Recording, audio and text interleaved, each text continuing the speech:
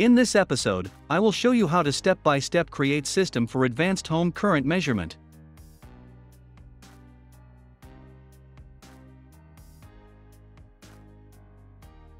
Attention! The electricity meter module must be connected to the home electrical system by an electrician, as modifications to the electrical system by yourself may result in electric shock or fire. Links to sample pages where you can buy the required items and other useful links and information will be included in the description. The first and most important element is the multifunctional electricity meter with network analyzer functions Eastron SDM630 Modbus V2. It is a device that will be connected to the electrical network, and we will read information from it.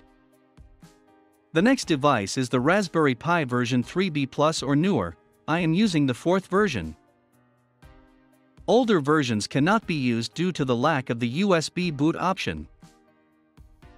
Another needed element is a USB SSD. The disk capacity does not matter, it can be even 16 gigabytes, it must have a USB 3.0 cable. I used a 120 gigabytes disk because I found the smallest one. It is not worth using a pen drive instead of an SSD, because although the system may perform better than on an SD card, it will perform worse than with an SSD disk. For communication between the Raspberry Pi and the meter, you need a USB to RS485 converter and two short wires. To power the Raspberry Pi, you need a minimum 3 amp power supply with a voltage of 5 volts and the appropriate cables. I used the rail power supply to which I connected the USB socket and connected it to the Raspberry Pi via the USB-C cable. The elements needed only for a moment are a micro SD card on which the system will be configured, which will then be transferred to an SSD drive, mouse, keyboard, HDMI cable with a micro HDMI adapter, and a monitor. If you intend to put the entire system on rails, an optional element is to print or buy a Raspberry Pi case that can be easily hung on a rail. Once you have all the necessary elements ready, we start with preparing the software for the Raspberry Pi. In the description, you have a link to the page where you can download the program to upload the system to the SD card. Click the download button and after downloading, run the downloaded file.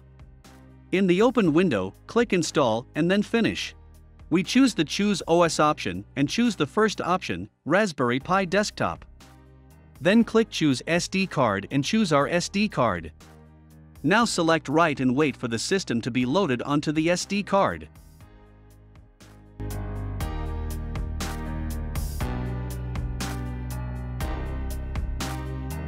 Now insert the SD card into the Raspberry Pi and connect the cables from the mouse, keyboard, monitor, and power supply. We wait for the system to boot and carry out the system configuration. We click Next and choose our country and language. Now we enter the password for our device. If you have a black frame around the screen, as it is with me, then you select the visible box. Now we connect to the Wi-Fi network and update the system, it may take a few minutes.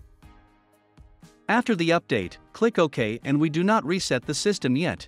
We open the menu, Preferences, and Raspberry Pi Configuration. In the Interfaces tab, we run VNC to have remote access to the Raspberry Pi desktop. In the upper right corner, there is a new icon, after clicking which we can check our local IP. For remote access to work without a connected monitor, we must set the default screen resolution.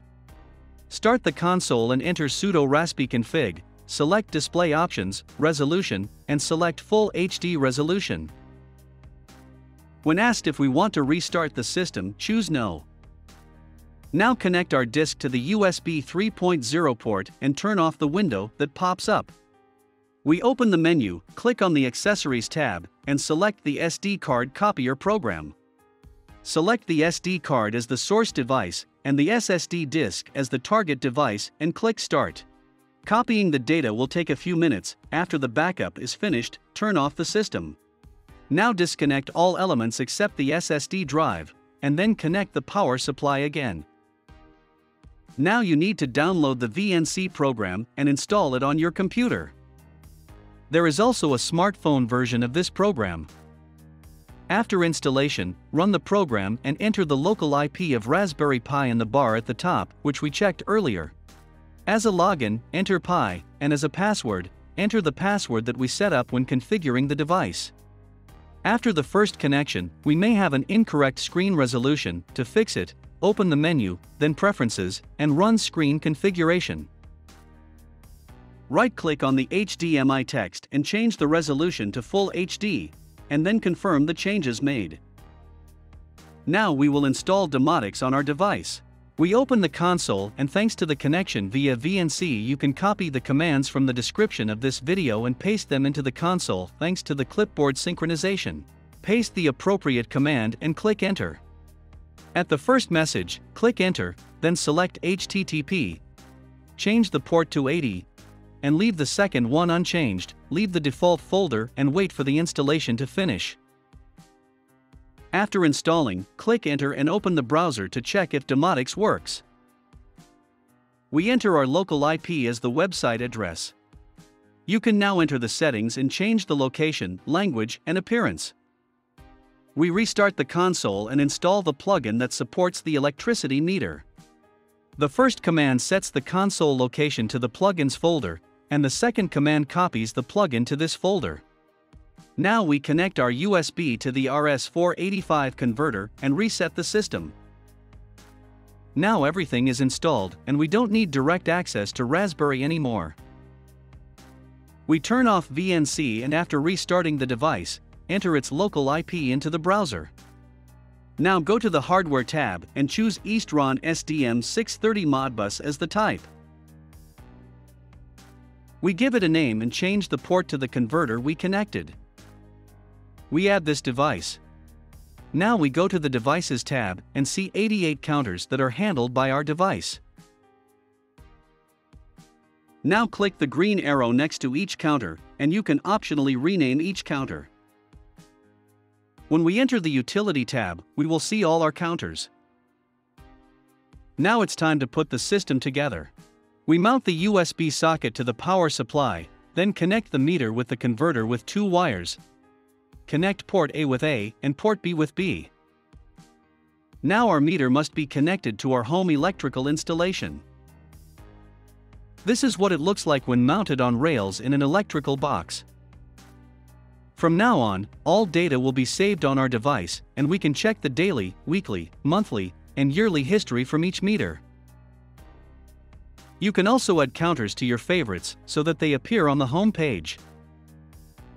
If you have any questions, write them in the comments, and don't forget to leave a thumbs up if you like the movie.